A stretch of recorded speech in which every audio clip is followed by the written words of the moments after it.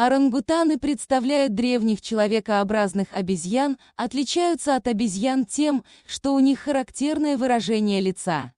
Являются достаточно мирными и спокойными животными, это единственные на сегодня представители подсемейства пангиновых которые сохранились в условиях живой природы, область лица орангутана лишена шерстяного покрова, при этом их кожа имеет темный оттенок. Лицевая часть скелета, а также область лба сравнительно широкие.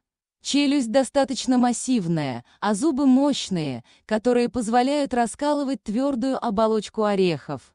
Глаза располагаются сравнительно близко друг к другу. К тому же, взгляд орангутана весьма осмысленный, что свидетельствует о наличии задатков разума. На пальцах отсутствуют когти, но зато имеются ногти, вроде человеческих.